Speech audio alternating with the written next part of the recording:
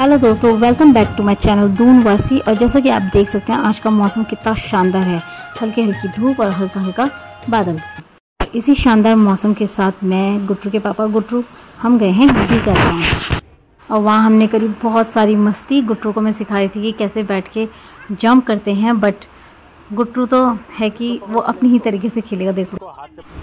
And गुट्टू को यहाँ इतना मज़ा आया, इतना मज़ा आया कि पूछो मत। एंड गुट्टू लिटरली बहुत ज़्यादा खुश हो गया था यहाँ आके एंड इतना खुश हो गया था कि हम उसको कहीं और ले जाने की कोशिश कर रहे थे तो वो जाने को तैयार ही नहीं होता ये देखिए कैसे लगा पड़ा। हम उसे ऊपर वाले सेक्शन में लेके गए थे फ़र्स्ट फ्लोर में एंड वहाँ हमने देखा कि इसके मतलब का जो खेल कूद का है वो वहाँ पे इतना था नहीं जिससे ये खेल सके। एंड इसने ये फाड़ दिया। सो so, जैसे तैसे करके हम गुटरों को नीचे तो ले आए बट जैसे ही उसने बॉलें देखी वो वापस से दोबारा खुश हो गया और दोबारा खेलने लग गया। एंड ये जो डी कैथलॉन है ये आपका रिश्मा पुल में जो फ्लाई ओवर पड़ता है उसके एंड में है।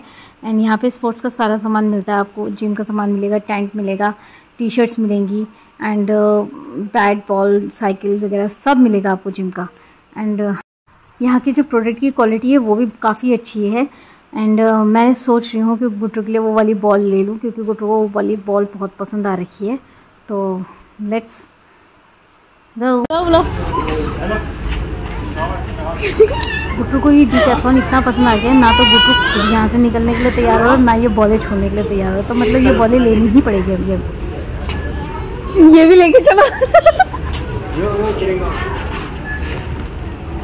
और उसके बाद हम यहाँ पे आए। आ, मैं फिर इसका नाम भूल गई हूँ इसमें जंप करते हैं और गुट्टू को ये वाला जो है खेल है ये इसको बहुत पसंद है तो हम इसको थोड़ी देर हमने इसको यहाँ पे रखा है एंड इसने बहुत, यहाँ पे इसने बहुत मस्ती करी।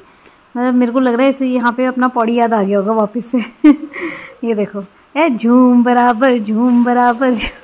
एंड गुटरू तो गुटरू गुटरू के पापा को देखो, कितना खुश हो रखा गुटरू के पापा ने पहली बार उसको इतना खेलते हुए देखा है इसमें। वीडियो में तो कैसे नहीं देखा था जब पौड़ी का वीडियो बनाया था बट फेस टू फेस उसके पापा ने पहली बार देखा उसको, इतना खेलते हुए, इतना खुश। सो so, उसके पापा अलग ही उसके उसके पापा के चेहरे की खुशी भी अलग ही और आप इतना मुस्कुराते हुए उसके पापा को भी पहली बार ही देख रहे होंगे। नहीं तो उसके पापा ज़्यादा मुस्कुराते नहीं हैं हमने भी कम ही देखा है। मैं मैं ये सोच रही हूँ कि जब ये गुटरू बड़ा होगा तब ये अपने वीडियो देखेगा।